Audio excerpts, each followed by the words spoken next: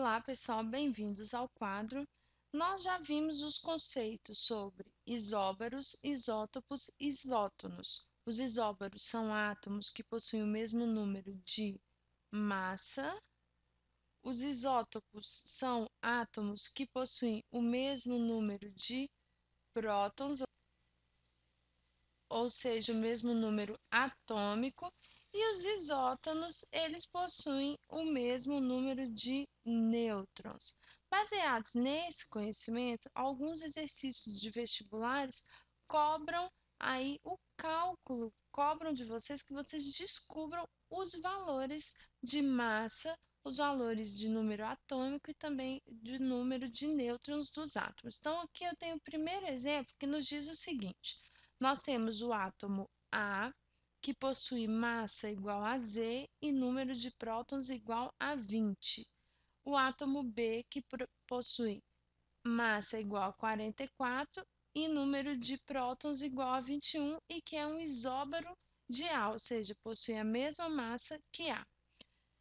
E o número C e o átomo C, que possui número de massa Y e número de prótons igual a X e que nós sabemos que é um isótopo de B, ou seja, possui o mesmo número de prótons que B, e é um isótono de A, ou seja, possui o mesmo número de nêutrons de A. Então, baseados nessas informações, nós vamos calcular os valores de Z, de Y e de X, ok? Começando aqui pelo valor de Z.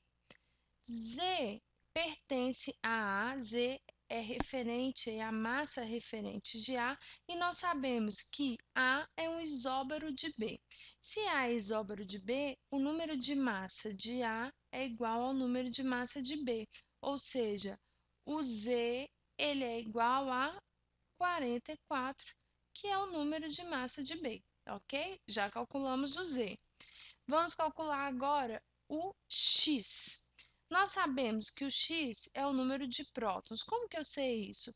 Tá vendo que o B aqui ele tem um número maior e um número menor? O número maior é a massa. Por quê? Porque a massa, que eu vou chamar de A, é igual à soma dos prótons, número atômico Z, mais os nêutrons. Ou seja, se a massa é a soma dos prótons mais dos nêutrons, e aqui eu tenho um número menor e um número maior, o número menor só pode ser o número de prótons e o número maior só pode ser o número de massa, tá bom? Então, continuando, vamos calcular aqui o número x. O x, ele vai ser igual a 21. Por quê? Porque C é um isótopo de B. Isótopos são os átomos que possuem o mesmo número de prótons. Se o número de prótons de B é 21, o X então será igual a 21. E o Y? O Y é o número de massa de C. Nós sabemos que o número de massa, como eu já falei, é o número de prótons mais o número de nêutrons. Para o C, nós já temos o número de prótons, só nos falta agora o número de nêutrons para poder calcular o X, o Y, desculpa. Então, o y de C ele vai ser igual o número de prótons de C, que é x, 21, mais o número de nêutrons de C. O número de nêutrons de C é igual ao número de nêutrons de A. Por quê? Porque eles são isótonos, eles possuem o mesmo número de nêutrons. Como que eu faço para descobrir o número de nêutrons de A? Basta eu pegar a massa de A, que é Z, então, nêutrons de A vai ser igual à massa, que é 44, menos o número de prótons, que é 20.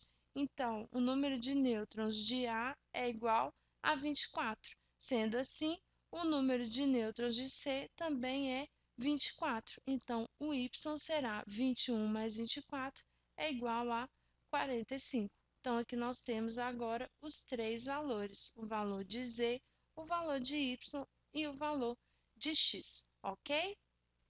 Seguindo aqui para um próximo exemplo, a questão nos diz que eu tenho o átomo A de massa 2x e número de prótons igual a x e que esse átomo é um isóbaro do átomo de níquel com massa 58 e prótons igual a 28.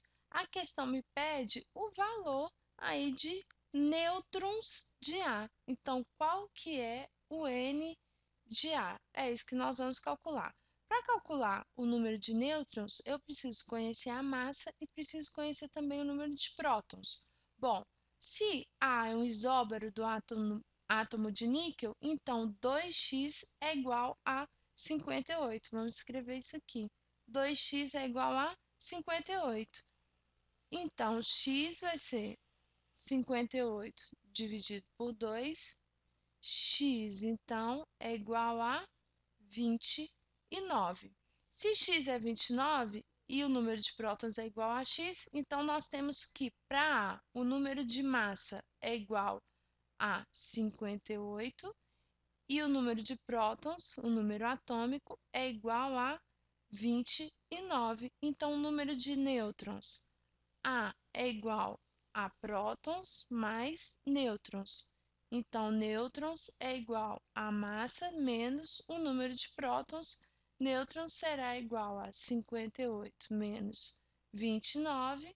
O número de nêutrons será igual a 29. Então, o número de nêutrons de A é 29. Se vocês tiverem exercícios e estiverem com dúvida, vocês podem compartilhar conosco através da nossa rede em oquadro.com.